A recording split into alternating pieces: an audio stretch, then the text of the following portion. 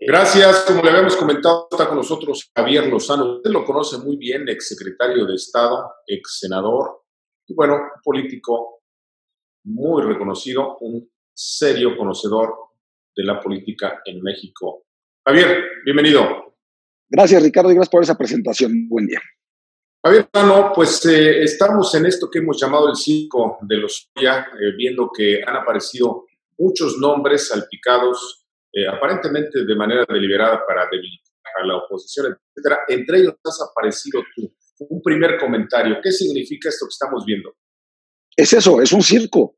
Es lo que yo he llamado la trampa 2021, que es toda articulada por el presidente para, como bien dice, debilitar a la oposición y particularmente al PAN, y con eso, pues, eh, eh, intentar ganar la mayoría de las gubernaturas que estarán en juego, que son 15 el próximo año, y obviamente mantener la mayoría en la Cámara de Diputados. Entonces se sirve de un delincuente confeso, lo mandan traer de España, le ofrecen este criterio de oportunidad para que él al confesar pues todo lo que supuestamente sabe y al señalar nombres a diestra y siniestra sin aportar más pruebas de sus dichos, entonces embarre a medio mundo, distraigamos, nos distraigamos de, la, de las cosas importantes que están pasando en este país, que es una verdadera tragedia, que nos distraigamos del desastre de gobierno que él encabeza para estar hablando solamente de este escándalo y que esto lo van a ir administrando a cuenta gotas para que le alcance el tiempo llegar al 2021 y pues dado que su popularidad iba a la baja, la de Morena igual, no se diga, pues esto, esto a la gente le gusta, es un poco, es un mucho morboso, ¿no?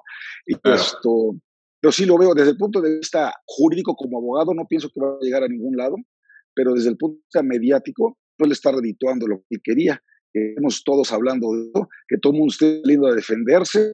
Digo, a mí una sola vez me mencionaron en una columna y ah, inmediatamente desmentí cualquier participación y se acabó. A mí no me está el documento el señor este, Emilio Lozoya, ni siquiera me menciona, o sea, yo no soy de los involucrados, pero de los muchos que menciona, yo te podré decir que es falso, man, que yo los conozco y que además es absolutamente ridículo que para una reforma como la energética, que apoyaba el PAN desde el día uno y que incluso la mejoramos y la enriquecimos, nos tuvieron tenido que dar dinero. O sea, es una estupidez.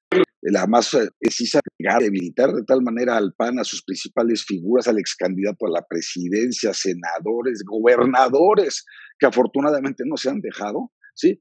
Para que digan, ya ven, o sea, e, él lo que quiere hacer es en el 2021, en lugar de hacer una elección plebiscitaria para ver, para que la gente, no, él va a querer hacer en el 2021 una elección basada en el pasado. Pero es lo mismo. Para decirle a la gente, estos son unos corruptos, no les creas. Aunque ya la gente se haya quedado sin empleo, ¿eh? como va a estar, aunque tengamos más de 100 mil muertos, como los vamos a tener por la pandemia, aunque tengamos más de 100 mil asesinatos, como los vamos a tener,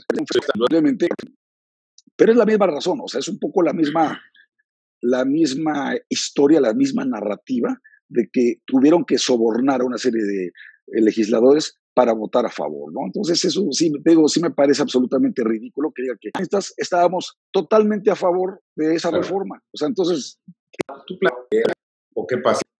bueno, pues vamos a darle a la urgencia criminal de estos ineptos por, la, por el mal manejo de la pandemia. Que algo queda, ¿no?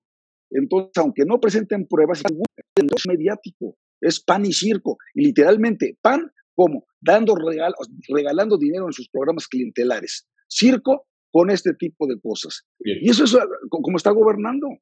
Muy bien, si nos permites, vamos a una pausa. No se vaya, volvemos.